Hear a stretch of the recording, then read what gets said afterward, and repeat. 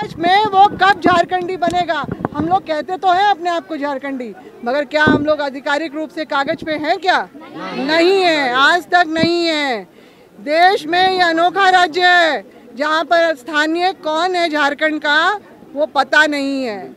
और तब से ही 2002-3 से मेरा विधानसभा का प्रोसीडिंग देखा हुआ है। उसी समय से ही भाषा अतिक्रमण शुरू हो गया था। उसी समय से ही जो है, सोच विचार चलने लगी थी कि भोजपुरी मगही मैथिली को कैसे घुसाए अंदर। ये तब से चल रहा है। और 2011 में भी हुआ, उस समय भी मैं विधायक थी, मैंने इसका विरोध किया है। और इस तरह से जब मैं 14 में जब मैं मंत्री थी, उस समय भी मैंने इन बाहरी बोलियों का मैंने विरोध किया था। 18 में रघुवर सरकार ने इनको गजट नोटिफिकेशन में डाल दिया। और हेमंत जी जो खतियानी और स्थानीयता की बात करते हैं उन्होंने इन्हीं भारी बोलियों को क्षेत्रीय बना के हमारे जिलों में घुसा दिया। इससे बड़ा अपमान कुछ हो सकता है क्या? नहीं हो सकता। इससे बड़ा हमारे हक का हनन हो सकता है क्या? और तो और जो ये गलत फैसले लिए गए कि इन क्षेत्रीय भाषाओं बोलियों में दसवीं और बारहवीं की जो बोर्ड की परीक्षा भी होगी तो जो भोजपुरी मगही अंगिका में जो बोर्ड परीक्षा देगा, और जब मैं इतना विरोध के बाद मैथिली को भी घुसा दिया तो अब उसमें जो वो बारहवीं की बोर्ड देगा तो वो तो जिला से लेके आपका राज्य स्तर की सारी नौकरियों में अपना हक जता लेगा। है कि नहीं? बिल्कुल। उसको तो सरकार ने लाइसेंस दिया भैया आप हम कौन होते हैं रोकने वाले? तो फिर झारखंडी के लिए बचा गया क्या इसी दिन को देखने के लिए हमारे पूर्वजों ने हमारे अगुवाओं ने बलिदान दिया संघर्ष किया अपना खून पसीना एक किया? तो ये हमारे अपने पूर्वजों का अपमान है। हमारे अगुवाओं का अपमान है।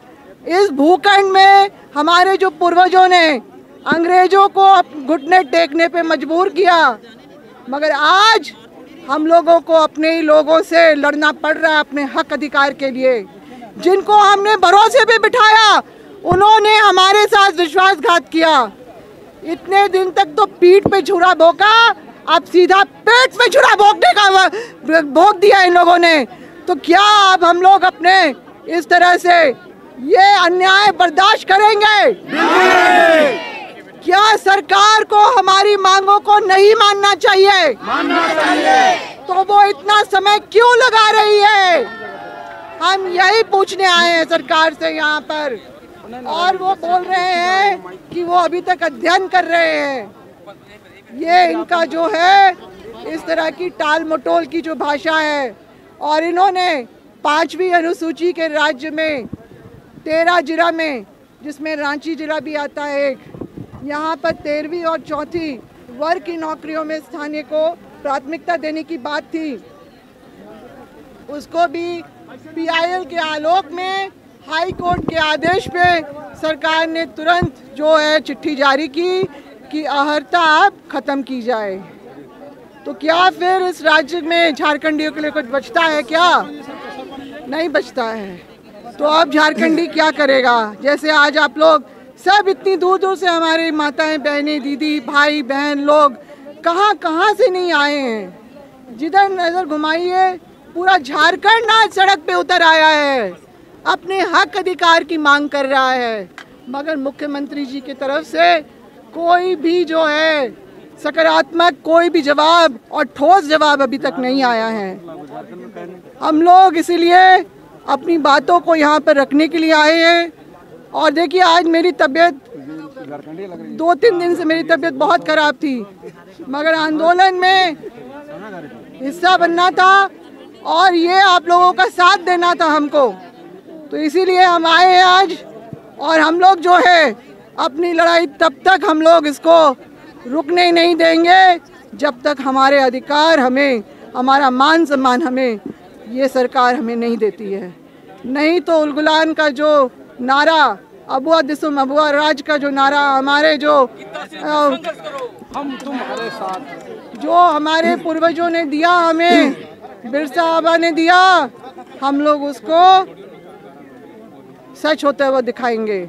और ये ताकत है झारखंडी की जब वो एक बार उठ जाता है तो वो फिर अपनी लड़ाई लड़के और अपना हक अधिकार लेके ही वो दम लेगा। जय झारखंड!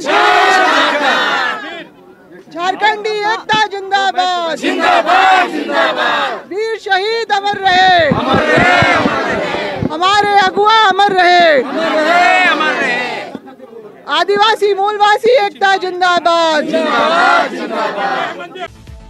अपने राज्य से जुड़ी हर ताज़ा खबरों के लिए आप हमें सब्सक्राइब करें साथ ही बेल आइकन बटन दबाना ना भूलें।